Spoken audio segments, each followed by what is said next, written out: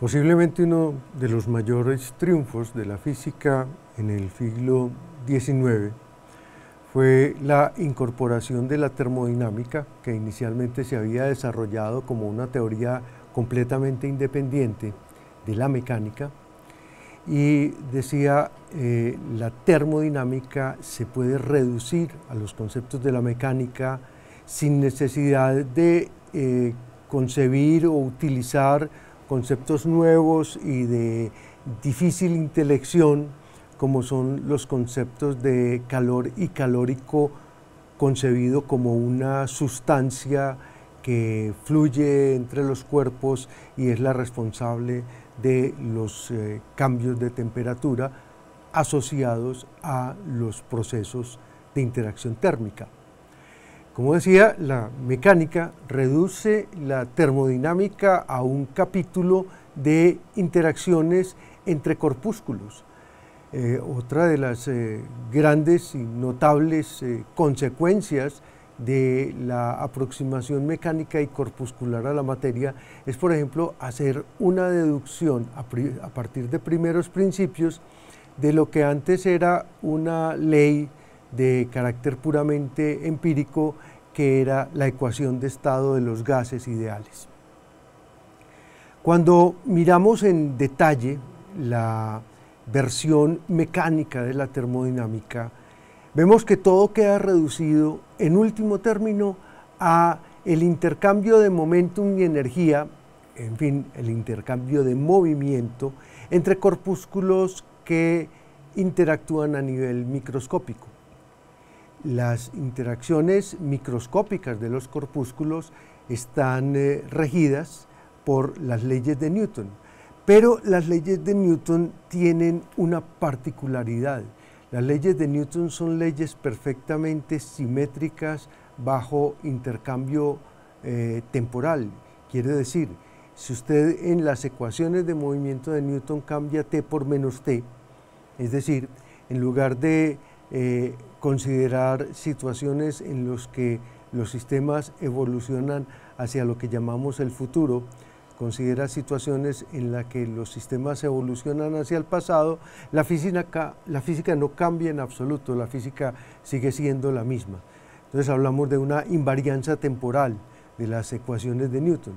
Y entonces se plantea un problema eh, muy importante desde el punto de vista teórico y que tiene consecuencias prácticas también muy significativas. ¿Cómo se incorpora la irreversibilidad dentro de la mecánica, la irreversibilidad propia de los fenómenos termodinámicos, cómo se puede explicar mecánicamente? ¿Cómo por medio de choques entre corpúsculos, sabiendo que cada choque es perfectamente reversible, se puede explicar la irreversibilidad de los procesos termodinámicos. Entonces, por lo menos para dar cuenta del hecho, si no explicarlo, por lo menos tenerlo en cuenta en los procesos termodinámicos, el físico alemán Rudolf Clausius acuñó el concepto de entropía. Hemos estaba hablando eh, de una magnitud física muy adecuada para la descripción de los sistemas, particularmente de los sistemas aislados, que es la energía. Siempre y cuando yo aísle una porción del universo para estudiarla, puedo garantizar que si esa porción del universo no interactúa con ningún otro elemento, entonces esa magnitud física que llamamos eh, energía se va a conservar y que las interacciones entre las partes o los subsistemas del sistema mayor que estoy considerando intercambiarán energía y momentum como parte de sus procesos de interacción. Sin embargo, la magnitud entropía alude a otro tipo diferente de magnitud física que describe los sistemas termodinámicos. Una magnitud que nos dice en qué dirección en qué sentido o si es posible o no que un proceso termodinámico se produzca.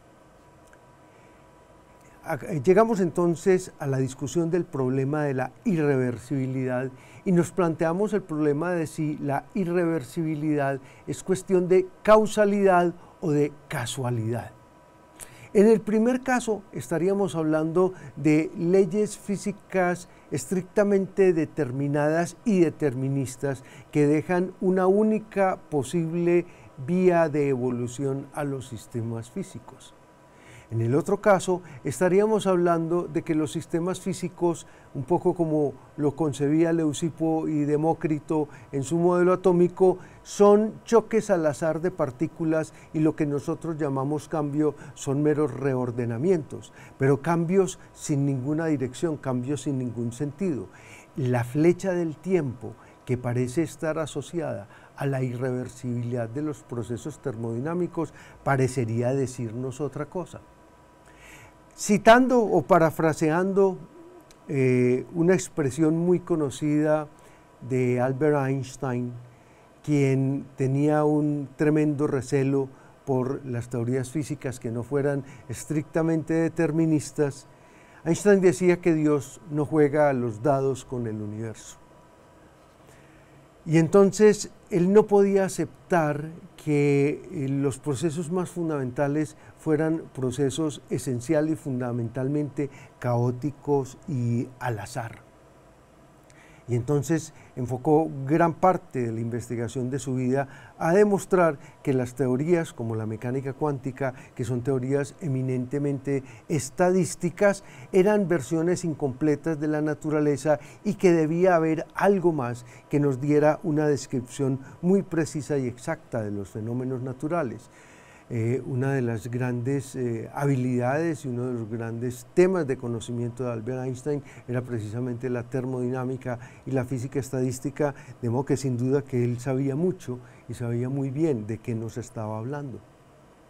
Volvamos a los, eh, los inicios en los que la termodinámica se enfrenta con el problema de la irreversibilidad.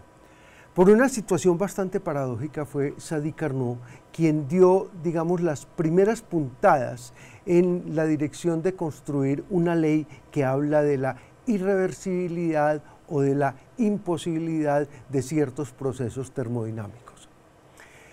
Analizando la posible y teórica eficiencia de una máquina térmica y desde utilizando una construcción que, se ha conocido como el ciclo de Carnot, Sadi Carnot analizó los procesos termodinámicos y llegó a la conclusión de que no puede existir ningún proceso cuyo único efecto sea transferir calor de un cuerpo de menor temperatura a un cuerpo a mayor temperatura. A esto se lo ha dado en llamar la segunda ley de la termodinámica y ya vamos a ver cómo esto de alguna manera se relaciona con el concepto de irreversibilidad. Mencionamos ya que los artesanos de la Edad Media lucharon desesperadamente por la construcción de máquinas que trabajaran indefinidamente sin la intervención del hombre, verdaderos autómatas, fuentes infinitas de trabajo.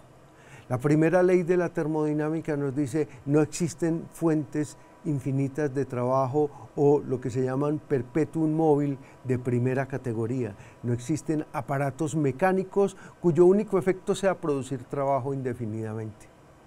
Bueno, ahora la, interpretación de Carnot de los procesos termodinámicos y de la posible eficiencia de una máquina de Carnot nos dice no existen procesos termodinámicos con eficiencia infinita. No existen máquinas termodinámicas que puedan producir trabajo indefinidamente, o ya para decirlo en términos muy técnicos, no existen móviles perpetuos de segunda clase. Volvamos al examen de este fenómeno termodinámico que nos permite, por ejemplo, utilizar termómetros, el equilibrio térmico. Dos cuerpos a diferentes temperaturas T1 y T2, suponiendo que T1 es mayor que T2, se ponen en contacto durante el tiempo necesario para que alcancen lo que se llama el equilibrio térmico, que consiste en que los dos cuerpos llegan a tener la misma temperatura como un T y esta temperatura tiene la característica de que es menor que la mayor y mayor que la menor. Si T1 es mayor que T2, entonces T es menor que T1, pero T es mayor que T2. Y entonces alcanzamos esta situación que se llama de equilibrio térmico. La explicación o el modelo explicativo, primero utilizando el concepto de calor como un fluido, nos dice que hubo una transferencia de calor del cuerpo de mayor temperatura al cuerpo de menor temperatura. Por lo tanto, hay una variación en la cantidad de calor que, conserva, que tenía el cuerpo eh, eh, de temperatura 1, llamémoslo delta Q1, que es proporcional a su cambio de temperatura. Puesto que su cambio de temperatura es menor que cero, entonces decimos que delta Q1 es una pérdida de calor. Por el contrario, el cuerpo que estaba a menor temperatura, a temperatura T2, absorbe una cantidad de calor delta Q2 responsable de que este cuerpo pase su temperatura de T2 a T. Puesto que T menos T2 es mayor que cero, diremos que delta Q2 es mayor que cero.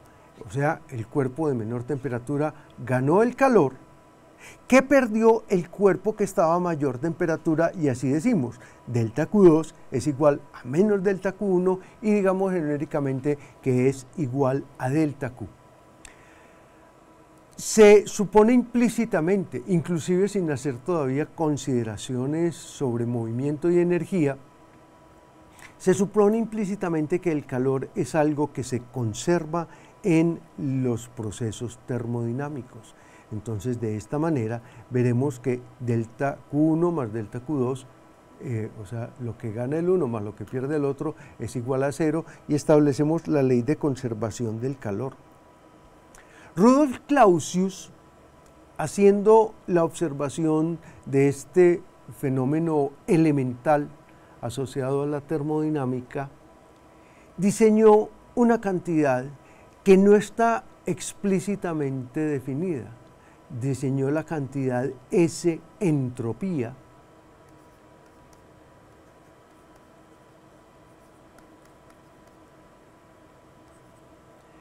sin decir qué es la entropía, nos va a decir cómo medir el cambio de entropía del sistema. Clausius define el cambio de entropía de un sistema como la cantidad de calor relacionada con la temperatura a la cual se encontraba el sistema. Entonces ahora volvamos al análisis de nuestro proceso termodinámico en el que, como decíamos antes, fluye calor, sea calor fluido, sea movimiento, calor del cuerpo de mayor temperatura al cuerpo de menor temperatura, respetando estas condiciones de equilibrio térmico. Entonces el análisis es el siguiente. El cambio total de la entropía del sistema será el cambio de la entropía de cada una de las partes del sistema, o sea, delta S1 más delta S2. Delta S1 es delta Q1 sobre delta T1, pero ya habíamos dicho que delta Q1 es una cantidad negativa porque es una pérdida de calor menos delta Q sobre Q1. Delta S2 es igual a delta Q2 sobre T2. Es la cantidad de calor que es responsable del cambio de temperatura del cuerpo que inicialmente estaba a temperatura 2. Y entonces delta Q2 es una cantidad positiva delta Q y lo escribimos como delta Q sobre T.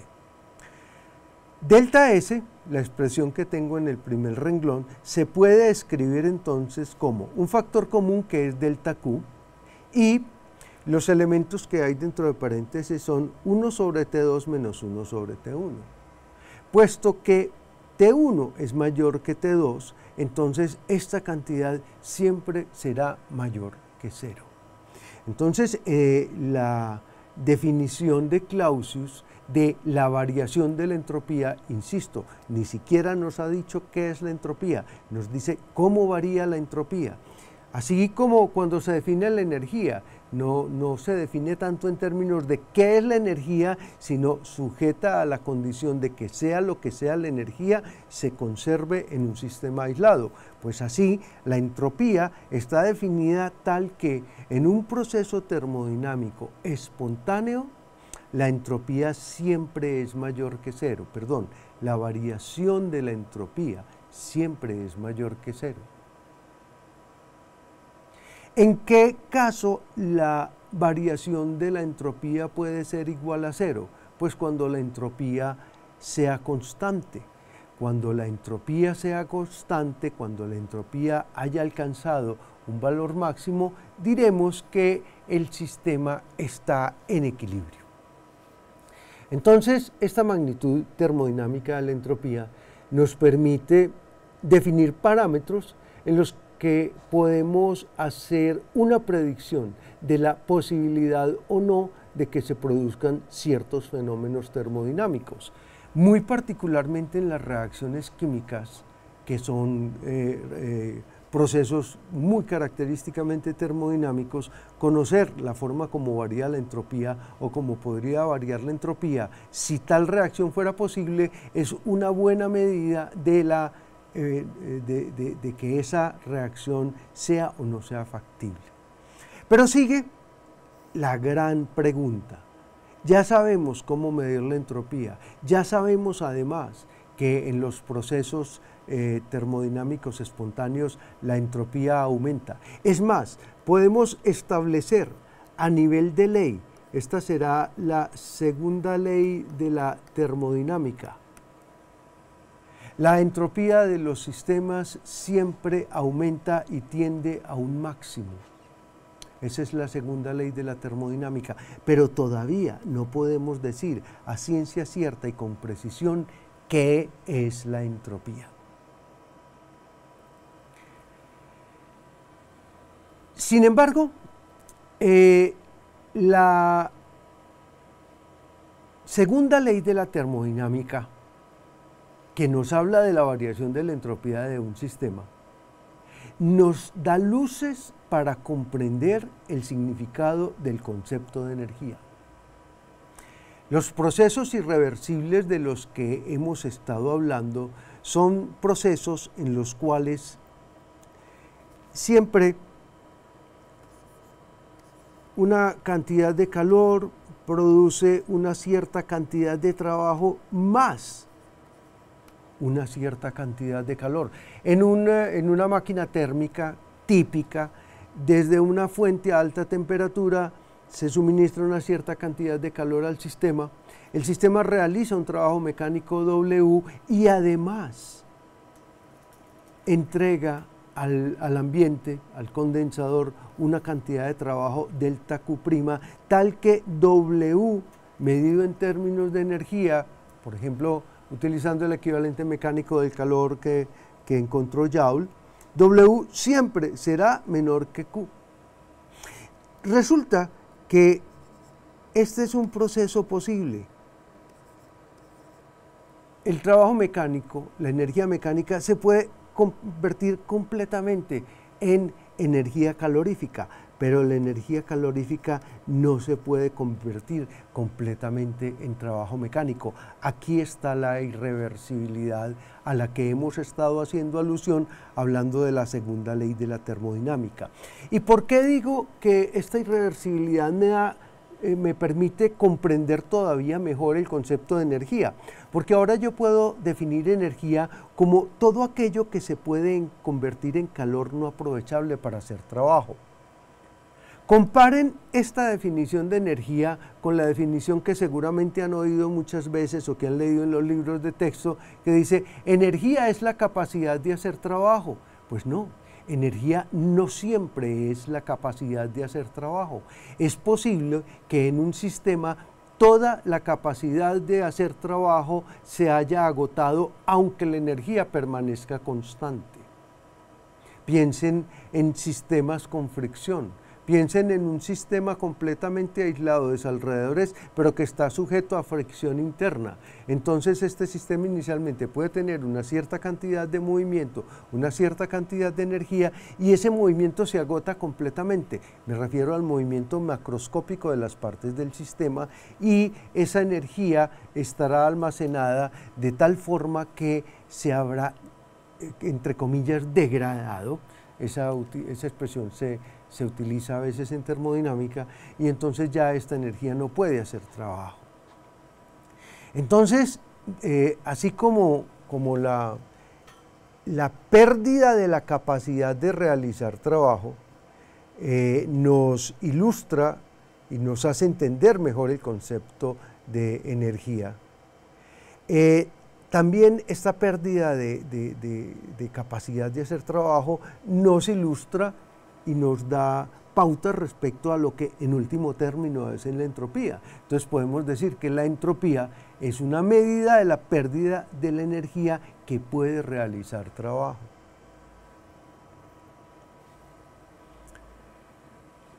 Dentro de las muchas y múltiples interpretaciones que se da a este concepto de la entropía, que pasa por ser uno de los conceptos más misteriosos de la física, posiblemente la que tiene el mayor sentido práctico, aunque igualmente su interpretación sigue siendo eh, sujeta a discusiones, es la que dio Ludwig Boltzmann eh, en la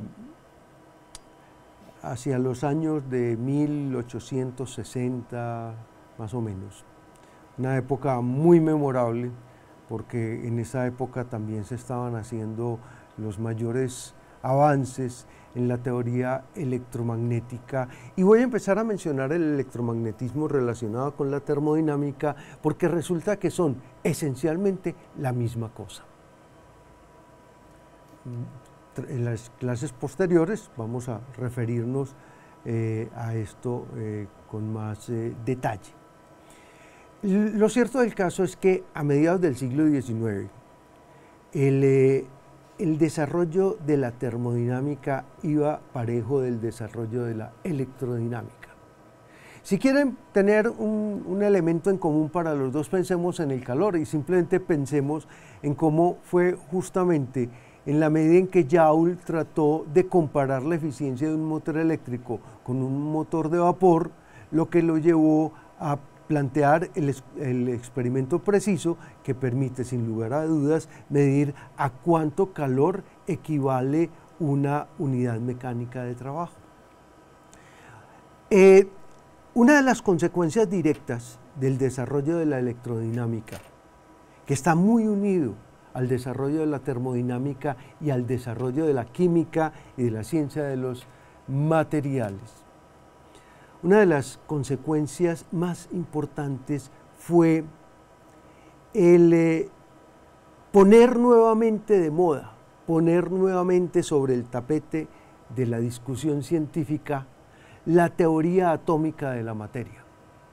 La química se erigió en una eh, disciplina científica en el, en el sentido moderno de la acepción a partir del momento en que Avogadro estableció la ley de conservación de la materia y Dalton estableció la ley de las proporciones múltiples.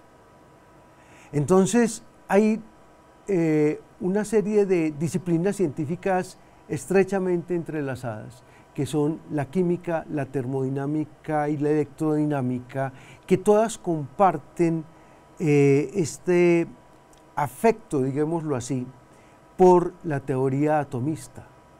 Para algunos físicos teóricos muy importantes, como, como por ejemplo eh, Hermann von Helmholtz, quien fue la persona, digamos, que estableció en términos teóricos y precisos lo que ahora llamamos el principio de conservación de la energía. Para Helmholtz el modelo atómico era casi que un capricho de los químicos que no tenía mucha relevancia en la física y habría de pasar muchas y agrias discusiones que según algunos, llegaron inclusive a, costarle la vida a Ludwig Boltzmann sobre la naturaleza atómica de la materia. Pero ¿qué fue lo que dijo Boltzmann sobre la entropía?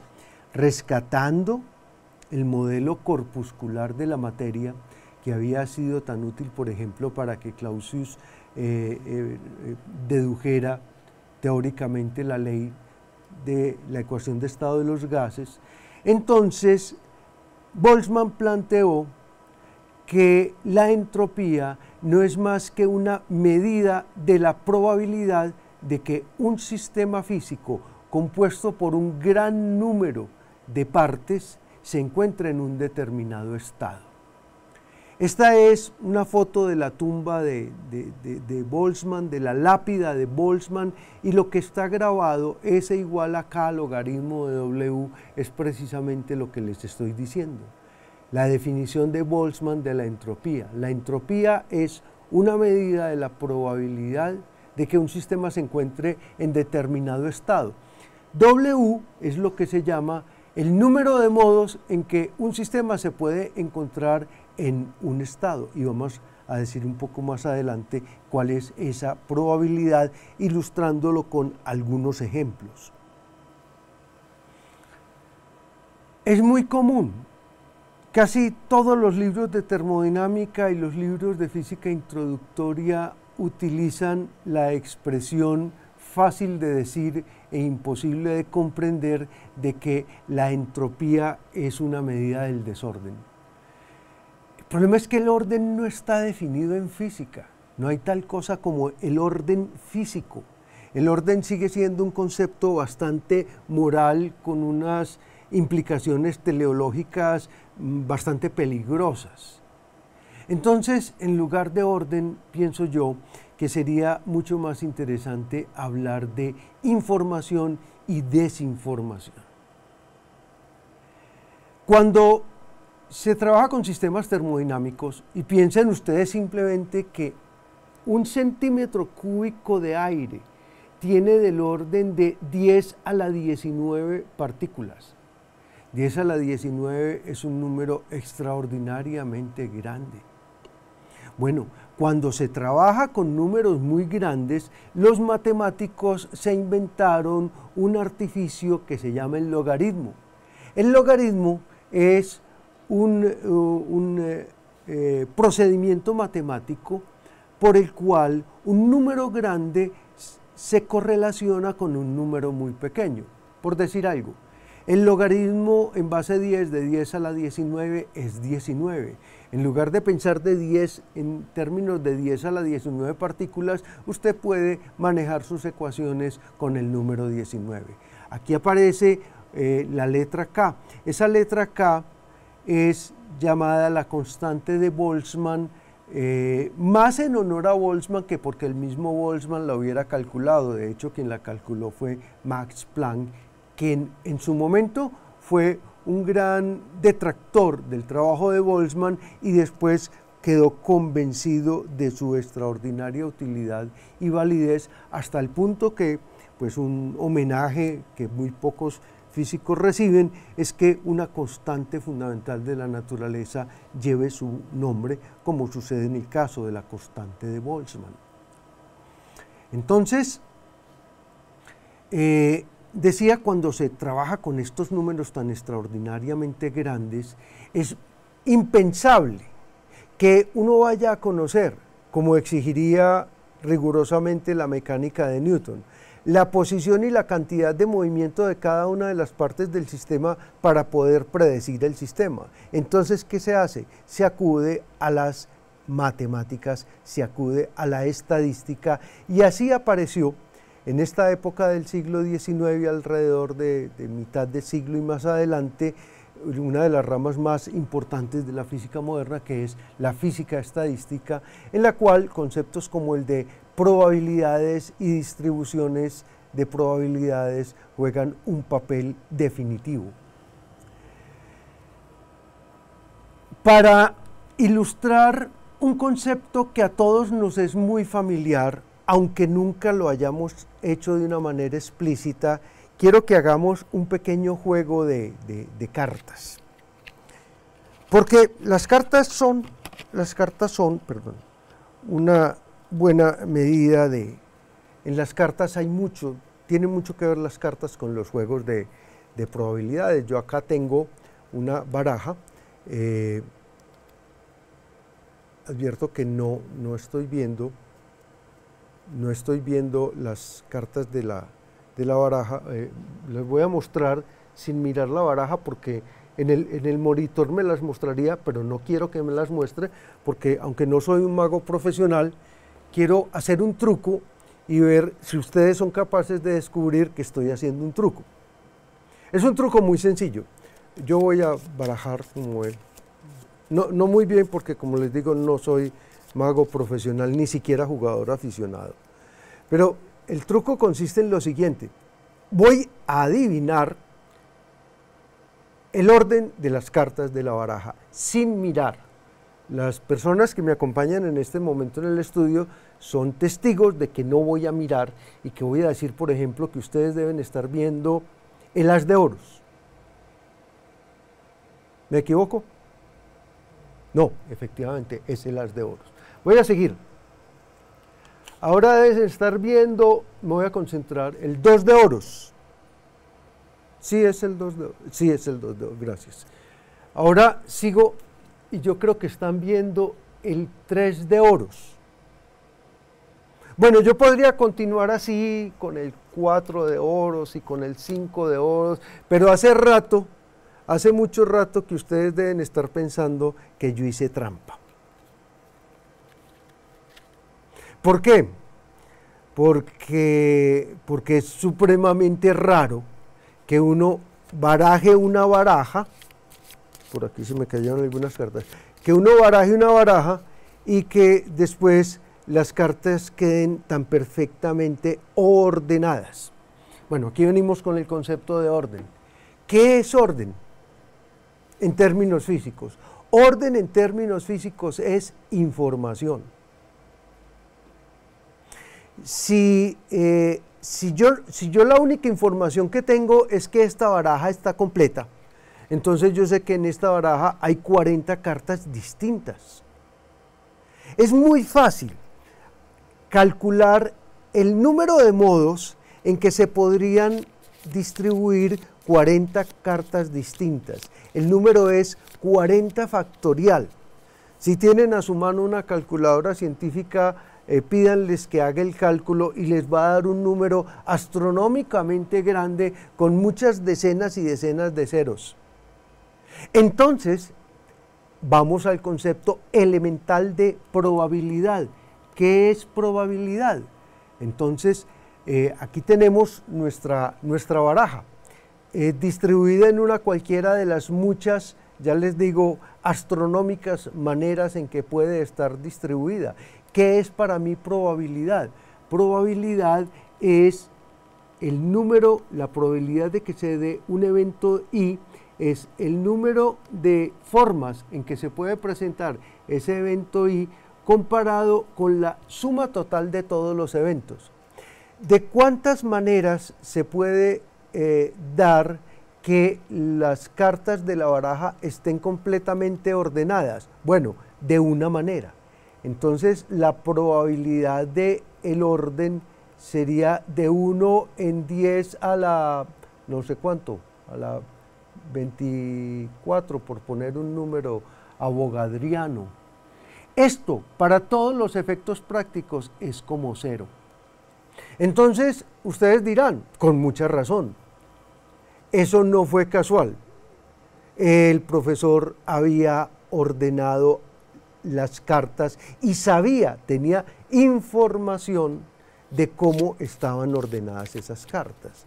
Si ahora hago un barajo de una manera mucho más concienzuda, entonces la probabilidad de que adivine una carta es de una en 40.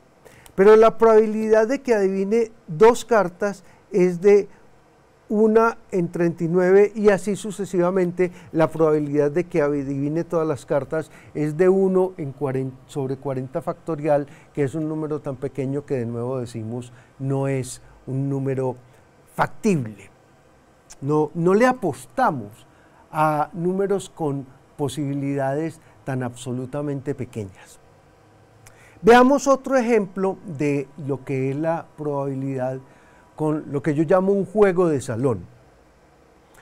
Consiste en lo siguiente. Por favor, todos saquen, saquen su carnet de identificación, su tarjeta TIP, y les voy a pedir que eh, se paren de su asiento y se sienten por orden numérico. Eh, bueno, esto es lo que Einstein llamaría un experimento pensado. Si tratáramos realmente de hacer este experimento, nos gastaríamos, yo creo que no, no nos daría el tiempo de la clase para lograr que un poco más de 100 personas que puede haber en un auditorio, por ejemplo, se, se sienten en orden alfabético o en orden numérico. De nuevo calculen cuál es la probabilidad de que si ustedes llegan de manera espontánea y se sientan en cualquier sitio, eh, queden ordenados de tal forma que eh, los números de sus identificaciones sean consecutivos o los números o las, letras de sus apellidos sigan un orden alfabético. Entonces, de nuevo, esto es una probabilidad de, de 1 sobre 100 factorial.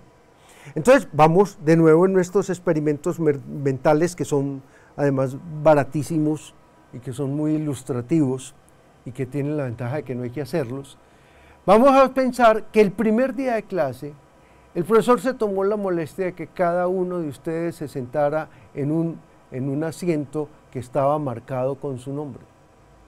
Pero a lo largo del salón esta práctica se va relajando, se va relajando y entonces al final del semestre cada uno está sentado en cualquier parte en una de las 100 factorial maneras en que podrían distribuirse todo el grupo.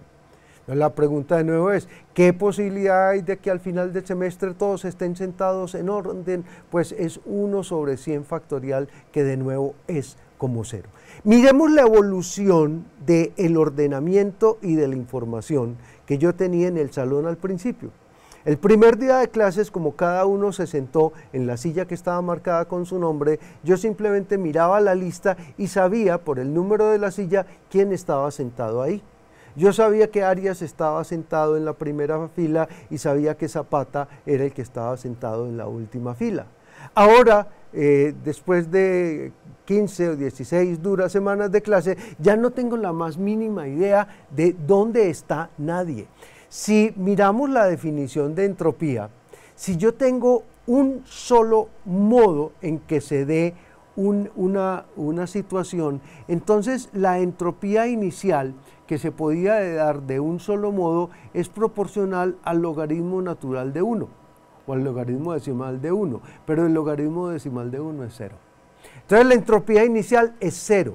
Veamos al final del semestre la entropía final es proporcional al logaritmo natural, perdón, logaritmo natural de lo que yo llamé 100 factorial. Bueno, este es un orden, este es un número seguramente del orden de 100. Entonces, mi sistema pasó de un estado en el que yo tenía completa información sobre el sistema, evolucionó espontáneamente a un sistema en el que tengo muy poca información y máxima entropía. A esta máxima entropía algunos lo llaman desorden. Para terminar, hagamos eh, el siguiente experimento de nuevo un bonito experimento mental. En este experimento yo tengo en un frasco que está dentro de un recipiente cerrado, tengo unas cuantas gotas de perfume.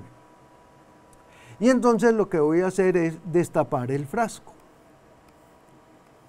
La pregunta es, cuando el frasco esté destapado, ¿Dónde se van a encontrar las gotas de perfume al cabo de cierto tiempo? ¿Será posible que todas las gotas estén concentradas en el frasco? Entonces de nuevo hago cálculos, hago estadística y digo la probabilidad de que una partícula se encuentre eh, dentro del frasco, pues es proporcional al volumen del frasco. La probabilidad de que se encuentre en cualquier parte del recipiente es proporcional al volumen del recipiente.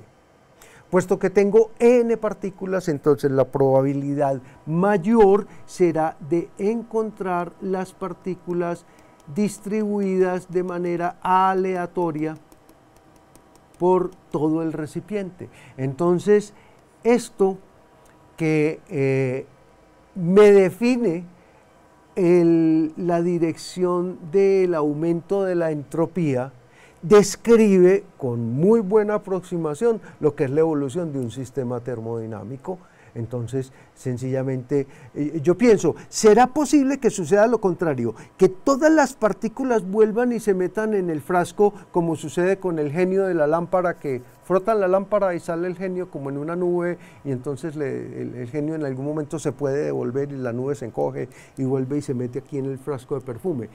¿Hay algo que físicamente lo impida? No, no hay ninguna ley física que lo impida decimos que es un suceso extraordinariamente improbable. Entonces, para terminar, podemos decir que la flecha del tiempo es el resultado de las apuestas que en cada momento hace la naturaleza por resultar, por lograr los resultados más probables.